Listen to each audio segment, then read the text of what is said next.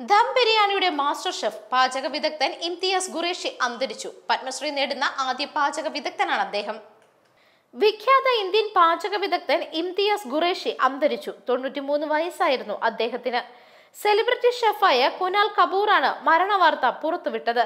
പത്മശ്രീ പുരസ്കാര ജേതാവ് Imtiaz Qureshi I T C hotel ശൃംഖലയുടെ പാചകകലയിലെ നെടും തൂണായിരുന്നു ലക്നൗ അവധ് പാചകകലയിൽ വിദഗ്ധനായിരുന്നു അദ്ദേഹം. ദം ബിരിയാണിയുടെ മികവാണ് ഇംതിയാസ് ഖുറേഷിയെ പ്രശസ്തിയുടെ നെറുകയിലേക്ക് എത്തിച്ചത്. രണ്ടായിരത്തി പതിനാറിലാണ് പാചകകലയിൽ വൈദഗ്ധ്യത്തിന് ഇംതിയാൽ ഖുറേഷിയെ തേടി പത്മശ്രീ പുരസ്കാരം എത്തുന്നത്. രണ്ടായിരത്തി പതിനാറിലാണ് പാചകകലയിലെ വൈദഗ്ധ്യത്തിന് ഇംതിയാലി ഖുറേഷിയെ തേടി പത്മ പുരസ്കാരം എത്തുന്നത്. പാചകകലയിൽ പത്മ പുരസ്കാരത്തിന് അർഹനാകുന്ന ആദ്യത്തെ വ്യക്തിയാണ് ഇംതിയാസ്.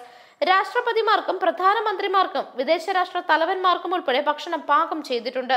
സിനിമ സാമൂഹ്യ മാധ്യമ രംഗത്തെ നിരവധി പേരാണ് മാസ്റ്റർ ഷെഫിന് ആദരാഞ്ജലികൾ അർപ്പിക്കുന്നത്. News desk Magnavision.